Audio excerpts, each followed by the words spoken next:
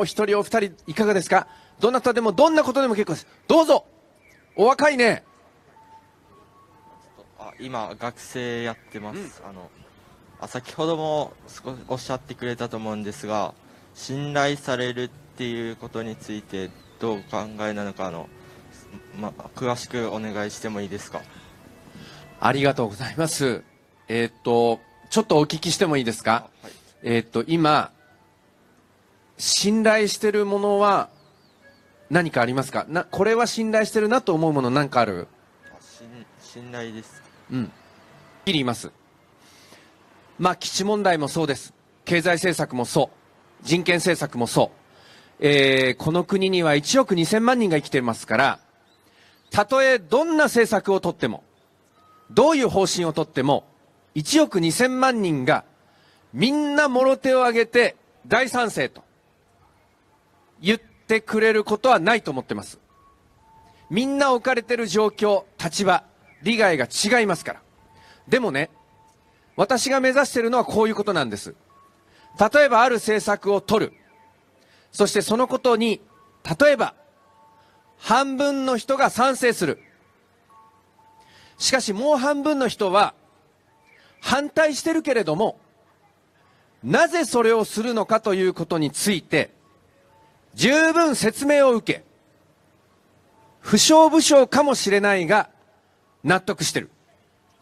私が目指す信頼される政治、社会の理想像はそれなんです。万人が賛成するのはありえない。一部の人しか賛成はできない。しかし反対してる人も十分な対話、十分な説明、十分な説得によって少なくとも納得してる。しょうがないと思えてる。そして自分と意見が合わないことをやってる人たちを、それでも結果として信頼してる。という状況を作りたいんです。で、私は、もうちょっと申し上げます。日本では、政治は、不信の象徴です。で、これからね、今までは人口増えたでしょ経済は高い成長。そして多くの方が正社員。毎年給料が上がるという昭和の右肩上がりの昭和の右肩上がりの時代を前提に社会が作られてきました。だから、住宅も結婚も子育ても教育も医療も福祉もほとんど自己責任でしょ自助努力ですよね。ところが平成に入って人口は減少。高齢化進みました。正社員の門は狭き門となりました。そして毎年給料が上がるとは言えない時代に入った。なのに、人生のほとんどは今でも自己責任のままですよね。だからみんな不安なんですよ。将来がどうなるか見通しを持てない。安心できないんです。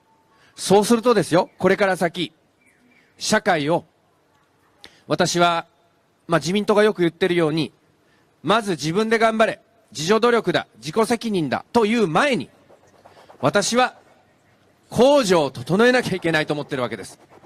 例えば住宅、結婚、そして子育て、教育に、お金のことが心配で、立ち行かない、踏み切れない、という社会であってはならないと思ってるんです。ということは様々な社会サービスを、ほとんど無料化、極めて安価で、例えばフランスなんか国立大学の授業料2万円ですからね。年間。北欧に行けば無料ですから。日本は国立に行っても50万円ですよ。それはお金に心配のない家庭の子供しか行けないわけです。私はそういう社会を変えていかなきゃいけないと思う。ところがね、それにはやっぱり、例えば北欧の人は、すごい高い税金払ってるんです。ところが、こう言うんですよ。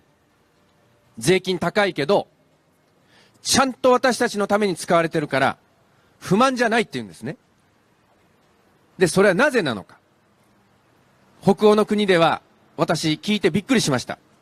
有権者が、私たちの国では政治家が、汚職をするなんて、信じられませんって言うんです。日本どうですか？政治家が、汚職をしないなんて信じられますか？信じられないよね。でしょ？そうするとですよ、こういうことが起きるんです。かの国では、あの人たちは信頼できる。だからあの人たちに、ある程度税金は高いけれども、ちゃんと預けておけば、自分たちにきちんと返ってくる。それで社会が安心な社会になる。だから、何が起きるかというと、あんまり貯金しないんだそうですね。何が起きても不安がないから。そうすると経済も回る。ところがこの国では、政治家、あれ絶対悪いことする人たちだと思われてる。あの人たちに、税金や保険料取られるぐらいだったら、自分で取っとかないと、貯めとかないと不安だと、みんな思わされてる。そして社会は、ほとんど自助努力、自己責任で生きていかなきゃいけない社会を放置してる。そうすると不安だから、将来不安強いから、企業も従業員の給料上げられないし、給料もらった働く人たちも安心して使えない。経済も低迷する。つまりそれはすべて信頼の連鎖している国か、不信が連鎖している国かの違いなんです。で、ところがです。ところが最後申し上げなきゃいけない。あの人たちは絶対に信用できる。というその人たちを選んでるのは、その国の国民ということになります。あの人たちは絶対悪いことしてる。というその人たちを選んでるのは、この国の国民ということになります。だから、信頼っていうのは、誰かだけの問題じゃなくて、政治と国民とが一緒に変わっていくしかないと思うんですね。